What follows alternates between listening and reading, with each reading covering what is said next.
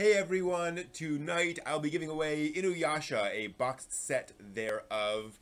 Nice chipboard design here. I'm giving away to one person in the chat room will get this. Uh, we'll also be talking about harem anime, kind of appropriately, and discussing the genre, how it's evolved over time.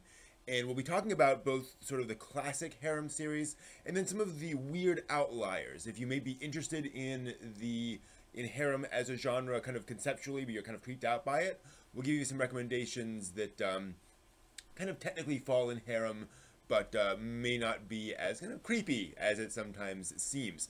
I'll also be reviewing, finally, The Wings of Honneamise.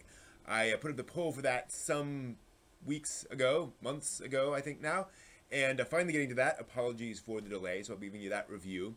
Uh, plus, of course, the latest anime and manga news. We'll also be talking about my anniversary coming up uh, this week. I've got some big plans for my nine year anniversary on YouTube, some giveaways and other cool stuff. So I'll give you a little preview of that tonight. And then finishing off with Otaku no Cooking, starting with the manga cookbook tonight. We'll be starting to make some uh, classic Japanese dishes starting tonight with uh, sliced apples in the shape of little rabbits. How cute is that? So, hope to see you tonight starting at 9 p.m. Eastern, 6 Pacific, 2 a.m. GMT. See you there.